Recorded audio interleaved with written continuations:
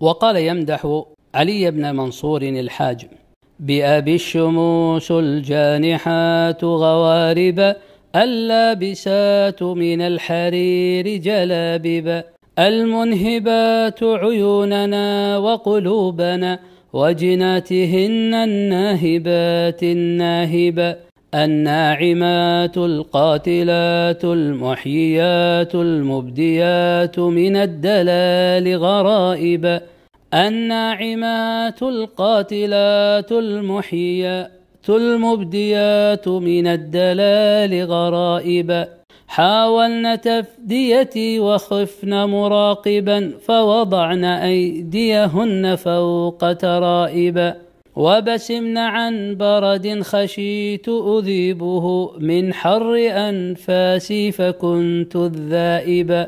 يا حبذا المتحملون وحبذا واد لثمت به الغزالة كاعبا كيف الرجاء من الخطوب تخلصا من بعد أن أنشبن في مخالبا أوحدنني ووجدن حزنا واحدا متناهيا فجعلنه لي صاحبا ونصبنني غرض الرماة تصيبني محن أحد من السيوف مضاربا أضمتني الدنيا فلما جئتها مستسقيا مطرت علي مصائبا وحبيت من خوص الركاب بأسود من دارش فغدوت أمشي راكبا.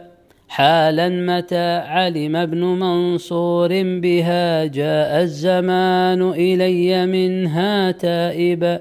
ملك سنان قناته وبنانه يتباريان دما وعرفا ساكبا. يستصغر الخطر الكبير لوفده ويظن دجلة ليس تكفي شاربا كرما فلو حدثته عن نفسه بعظيم ما صنعت لظنك كاذبا سل عن شجاعته وزره مسالما وحذار ثم حذار منه محاربا فالموت تعرف بالصفات طباعه لم تلق خلقا ذاق موتا آيبا إن تلقه لا تلق إلا جحفلا أو قسطلا أو طاعنا أو ضاربا أو هاربا أو طالبا أو راغبا أو راهبا أو هالكا أو نادبا. وإذا نظرت إلى الجبال رأيتها فوق السهول عواسلا وقواضبا وإذا نظرت إلى السهول رأيتها تحت الجبال فوارسا وجنائبا وعجاجة ترك الحديد سوادها.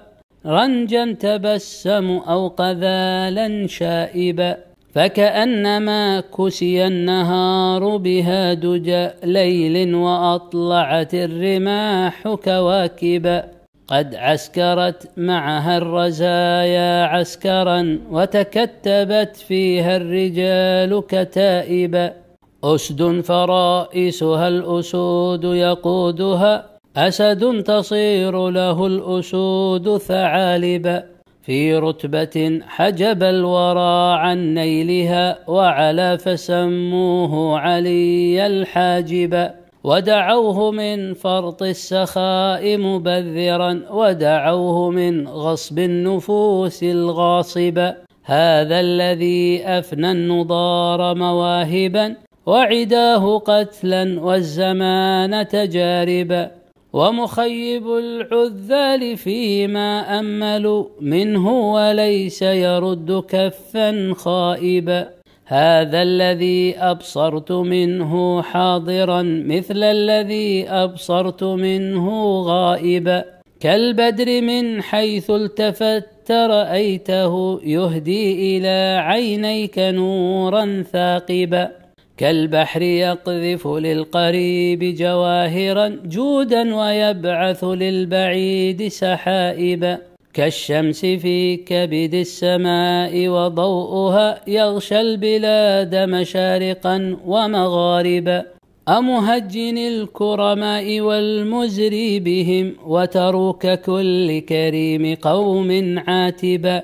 شادوا مناقبهم وشت مناقبا وجدت مناقبهم بهن مثالبا لبيك غيظ الحاسدين الراتبا إنا لنخبر من يديك عجائبا تدبير ذي حنك يفكر في غد. وهجوم غر لا يخاف عواقبا وعطاء مال لو عداه طالب. أنفقته في أن تلاقي طالبا خذ من ثنايا عليك ما أستطيعه لا تلزمني في الثناء الواجب. فلقد دهشت لما فعلت ودونه ما يدهش الملك الحفيظ الكاتب.